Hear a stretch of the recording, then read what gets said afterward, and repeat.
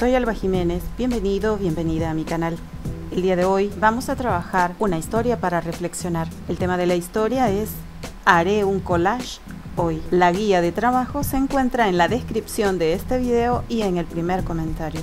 Mickey era un chico alegre, optimista y simpático.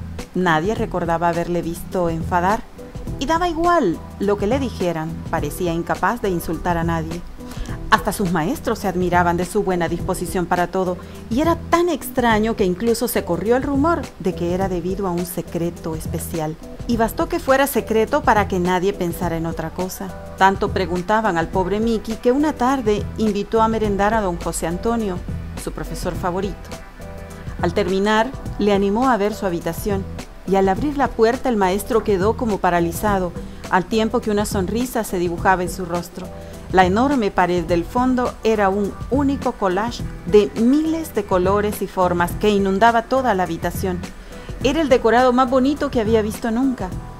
Algunos en el colegio creen que yo nunca pienso mal de nadie, comenzó a explicar Mickey, ni que nada me molesta o que nunca quiera insultar a nadie, pero es mentira. A mí me pasa como a todo el mundo. Y antes me enfadaba mucho más que ningún niño sin embargo, hace años, con ayuda de mis padres, comencé un pequeño collage especial. En él podía utilizar todo tipo de materiales y colores, siempre que con cada pequeña pieza pudiera añadir algún mal pensamiento o acción que hubiera sabido contener. Era verdad, el maestro se acercó y en cada una de las pequeñas piezas se podía leer en letras finísimas, tonto, bruto, pesado, aburrido y otras mil cosas negativas. Así que comencé a convertir todos mis malos momentos en una oportunidad de ampliar mi collage.